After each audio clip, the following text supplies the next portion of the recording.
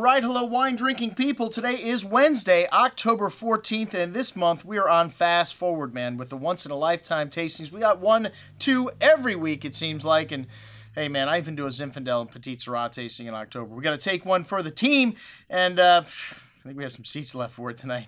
Sorry, I can't get that enthusiastic about Zinfandel. I do like Petite Sirah, though, and I love Merlot, one of my favorite grape varietals. What most people don't realize, it's the second most planted varietal in the world next to Cabernet Sauvignon. And actually, there's more Merlot planted in Bordeaux than there is Cabernet. And that's my lead into our super Pomerol and Saint Emilion tasting. That's right. Those are the two appellations, the most famous appellations of the right bank of Bordeaux.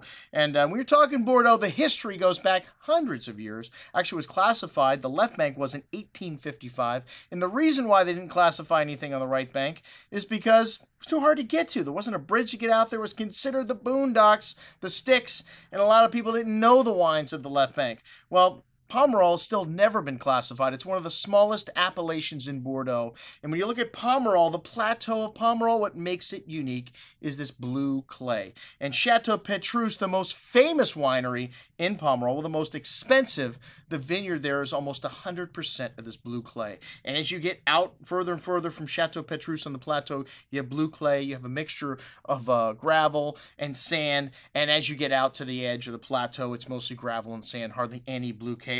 So the top properties in Pomerol have a lot of this clay, and this is what makes Petrus unique. And wines like Chateau Lafleur, Leguet, and Trotanoy. We have some of the greatest wines coming from Pomerol. At this tasting, going back to 1967. That's right, 67 Cheval Blanc, which Cheval Blanc lies right in the dividing line between Saint Emilion and Pomerol. And a lot of people feel like it's more Pomerol like than Saint Emilion like. Well, Cheval Blanc also is a very unique blend. It has a high percentage of Cabernet Franc, but these wines all have mostly Merlot in the blend. Some of them, like Trotanoy, 100% Merlot, and even Petrus in certain vintages when the Cabernet Franc doesn't get ripe, there's 15% of the vineyard planted to Cabernet Franc can be 100% Merlot. So we have got some of the top wines from these two appellations. Saint Emilion, right next to Pomerol, quite a bit larger.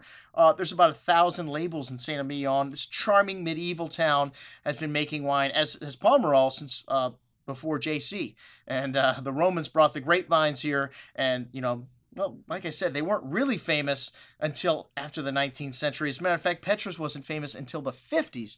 But Cheval Blanc and uh, uh, the other great wine of Saint Emilion, Ausone, were both classified as first growths in the 50s when this uh, area got classified. And this is the only area in Bordeaux where you can actually raise up uh, like uh, Angelus. There's been a few properties, Pavie, that they put 10 years of their wine together and they said, this is what we're doing now. Uh, taste our wine. And uh, the AOC tasted and decided, well, these guys deserve to be elevated. This doesn't happen anywhere but in Saint Emilion. Okay, well, uh, the Baron Baron Philippe Rothschild did it in 1973 with Mouton Rothschild, elevated from second to first growth. But that's the only person that's ever done it on the left bank. And like I said, in Saint Emilion, there's actually systems in place for you to move up the classification system. We've got Valandraud, we've got Péby Faugères, we've got some of the great newcomers, and of course, you're going to have Canon. We've got just an incredible all star lineup. I think half of this event is already sold, and uh, We've got Toni's Duck Confit also, which should be fabulous with these wines. So check it out.